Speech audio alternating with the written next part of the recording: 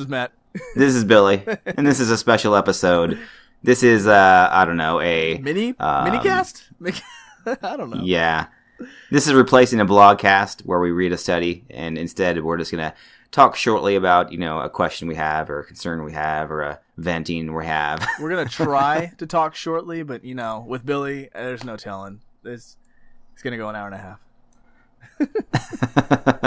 So okay, the the question, and and I'm gonna y'all pray for me. I'm gonna try not to get sassy on this one. So I- I- let me let me go ahead and just dog on myself because that'll be a good that'll be a humbling experience for me. I used to, as a Calvinist, appeal to mystery a lot.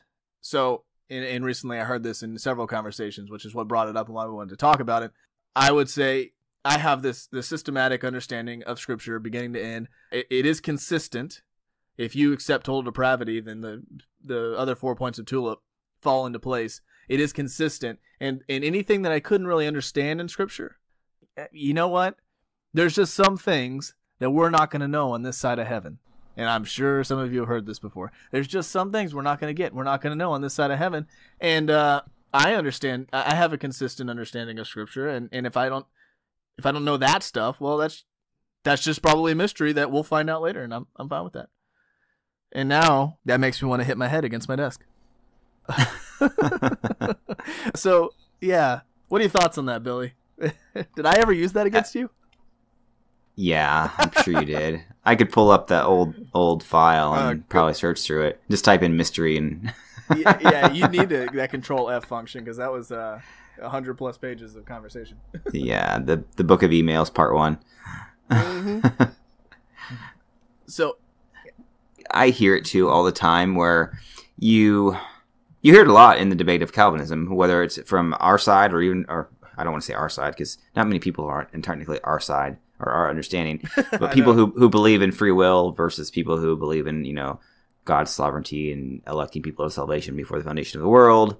You hear both sides saying, you know, a lot of people who who just haven't really studied the subject say, well, we just can't know how free will works. It's in the Bible. So is sovereignty and election is in the Bible. We just we just on this side of heaven it's just a mystery and we can never know. We just have to appeal to not being able to understand. God didn't make it very clear for us, so we can't know. And I just want to bang my head. yeah, exactly. I, it, it's a total cop out. I'm sorry. I it just It's a lazy cop out. It is, and and I get it. I understand the desire to want to just rely on God. I mean, it is kind of a faithful position. I'll hand you that. To say, you know, I I I, I have this consistency, and God's got the rest. I'm not gonna worry about it. The thing is, there are answers to those questions. I think Billy and I have talked about it before. Prior to coming to how we understand salvation, soteriology, prior to our understanding now, both of us would look at scripture and there were places where we just didn't understand it. Right? And, those holes, we don't have them anymore. And, and, uh, and uh, we're not patting each other on the back. We know we're not like high fiving, like, yeah, we got it figured out. We're we're actively. you sound like that. I don't sound like that. we are actively looking for those holes because we want to make sure that you know we can answer uh, the questions that we find. But what we're finding is that if you're willing to look, if you're willing to submit to Scripture and what it's teaching, and you're willing to shape what you understand to what Scripture says, not the other way around. You're not going to put your filter, you're not going to put your, your Calvinist glasses on and then read Scripture, and you're going to skip over the stuff that doesn't make sense. If you're willing to look at Scripture and let it shape your understanding, there are answers. hmm And and I just, uh, I, I don't know. How, how do you? Yeah, I hear it about the whole predestination and election thing. We, we both um, had that all mixed up, you know, in the past, and really, Yeah. we, we knew that we knew that there was a truth. We didn't really know how to explain the truth. We were faithful to God, nonetheless. We were trying to explain it, but fortunately, we, you know, trusted in God and sorted it out together. Just you know, threw away all of our presuppositions and came came to understand what the truth was. Um, you see it in in once saved, always saved, or eternal security. People they they look at these these things that appear to be conflicting, kind of like the thing I showed you earlier when I took the picture, where somebody my wife was doing a study on John 15, and, and the notes say.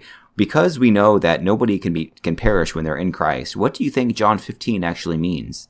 You know, where it says, "Abide in me, and I will abide in you."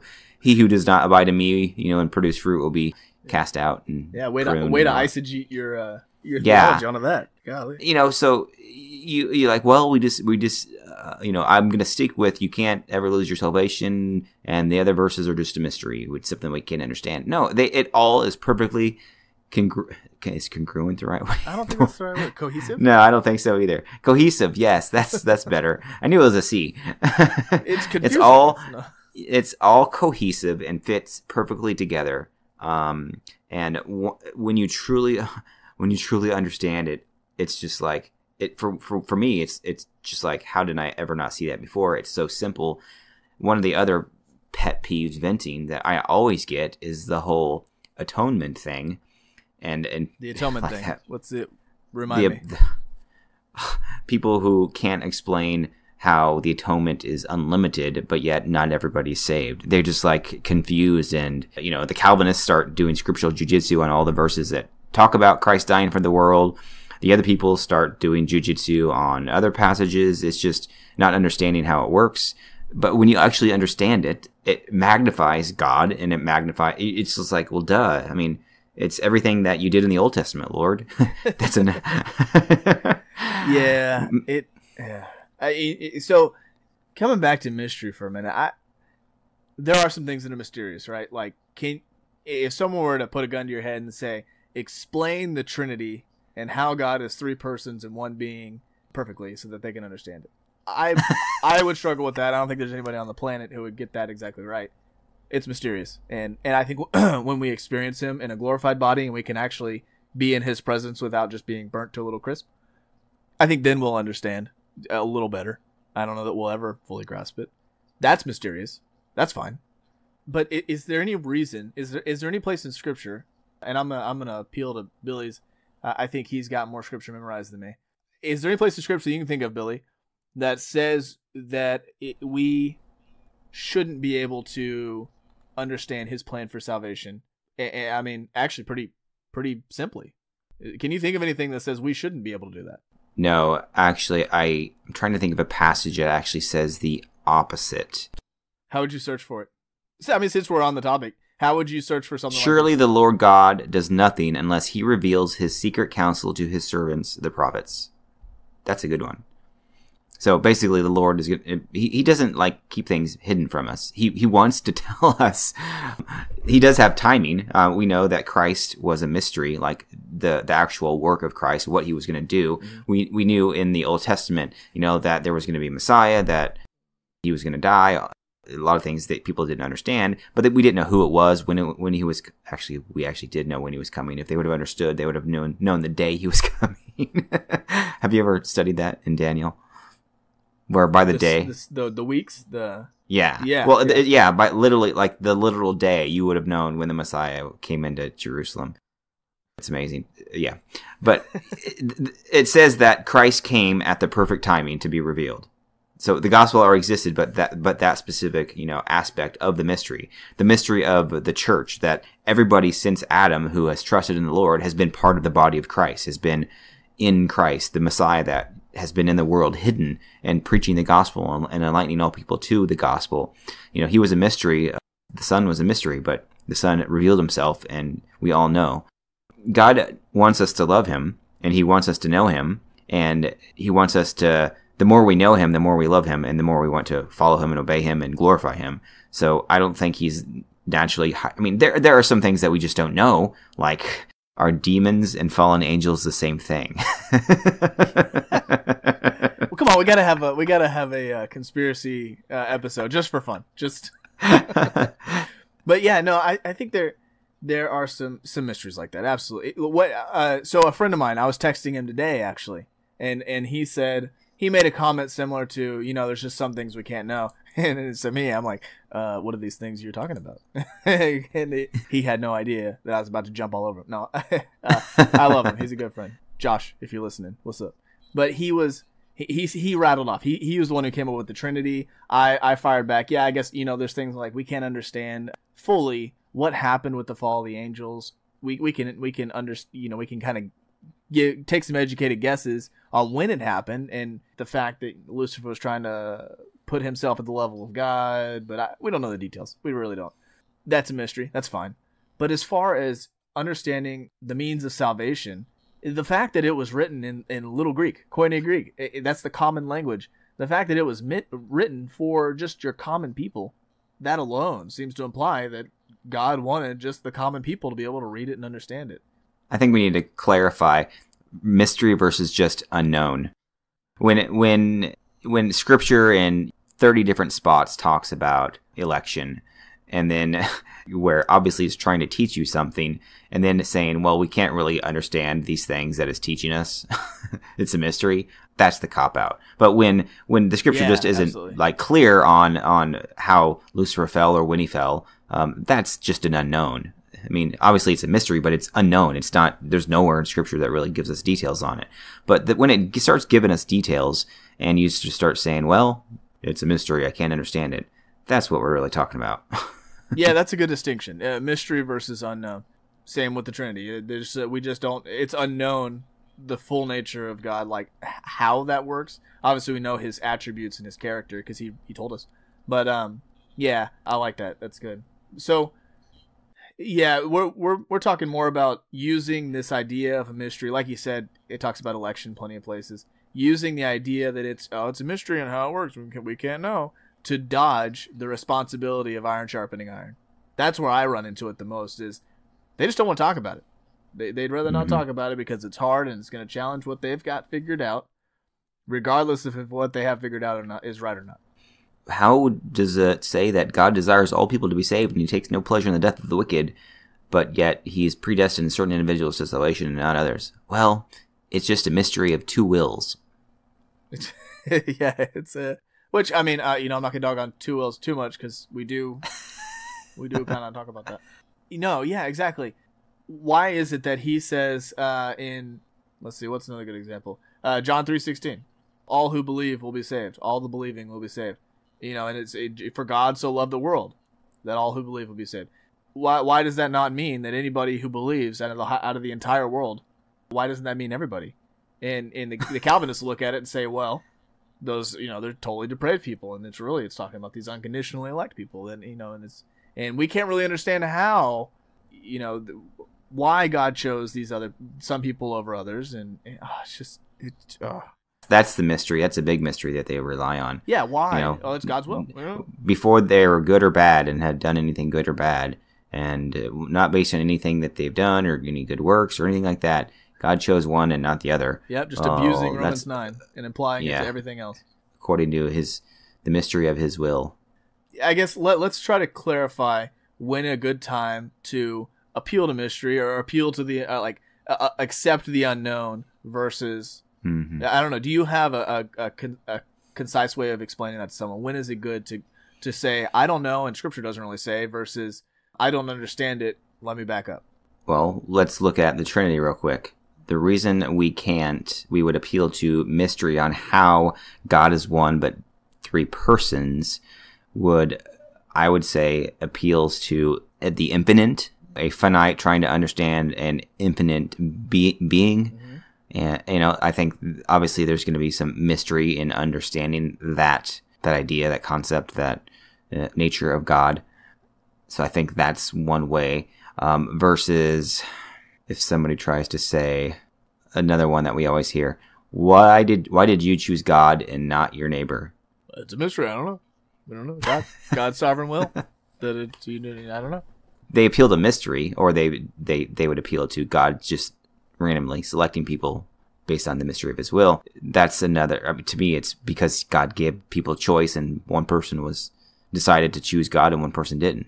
we would totally reject the idea that there's something special about one person that that Right. allows them to choose God over someone else. We would we would reject the idea that God picked them and empowered them to believe when he didn't empower the other. And we would reject the idea that one person got a more powerful dose of witness from God than the other person. hmm God doesn't show partiality. That is a, a, ex that is specifically stated in, in Scripture that He is impartial, and He's not going to pick someone, one person, over another.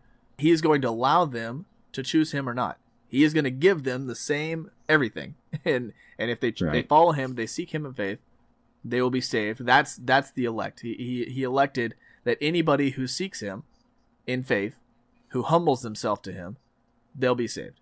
Anybody who doesn't will not. They won't be elect. And I can hear people yelling at us in the microphone.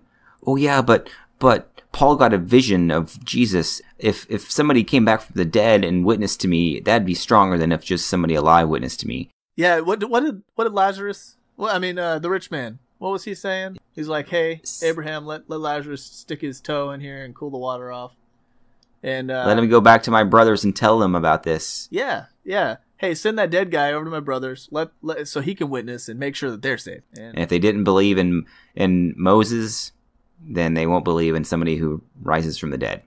The same spirit, the same witness in every single instance, whether it's you speaking from being born again through the spirit, whether it's the somebody reading the scripture by themselves, it's the spirit witnessing, whether somebody is sitting in the jungle and looking up at the stars and realizing, wow, there's a creator and he has put it on my heart that I, I know right from wrong and I, I know that my conscience is telling me that I can't I can't do his standards that I know are, are in my heart and I can just rest on him.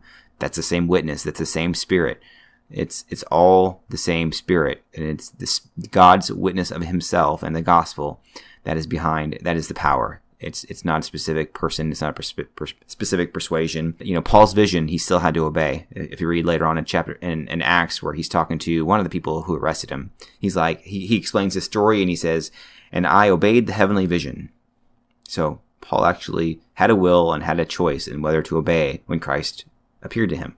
yeah, so just to bring it all back to, as the body of Christ, we have a responsibility that we've gotten away from to as, uh, to to sharpen each other, to Mhm. make disciples. But even on a discipleship seems, or to me, implies a teacher and a disciple. Uh, It, it implies a hierarchy.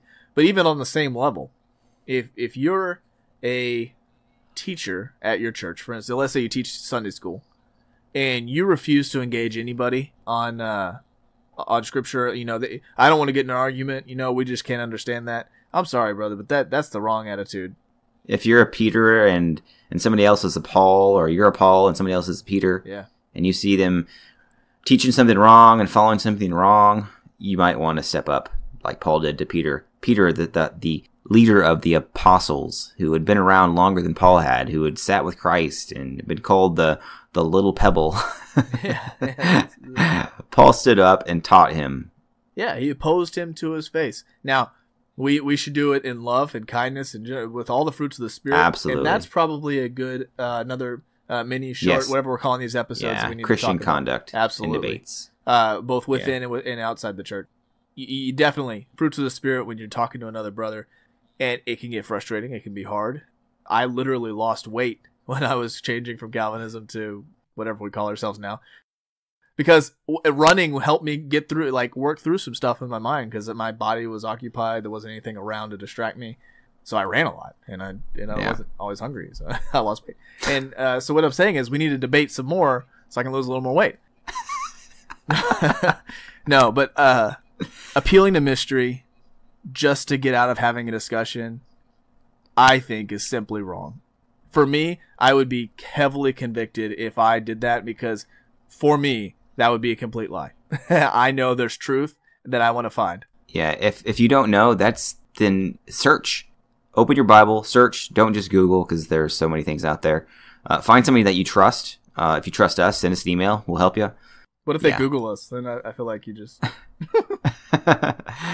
don't just randomly Google people. That's just that's that's bad. be a There's so Berean many- and check Yeah. everything against Scripture. If- Yeah. you- Google- feel free to Google. I think that's fine. Yeah, but but don't take one side's word for it. You need to go back to Yeah. Scripture. You need to try to understand it and get multiple input, uh, multiple sources. Um, but yeah, okay. Before we we just drone on and on and on. Anything else you want to say, or you want to go ahead and wrap? Nope. You can find us at BibleBrodown.com. Email us at BibleBrodown at gmail.com. Stay tuned. Every week we have two episodes a week.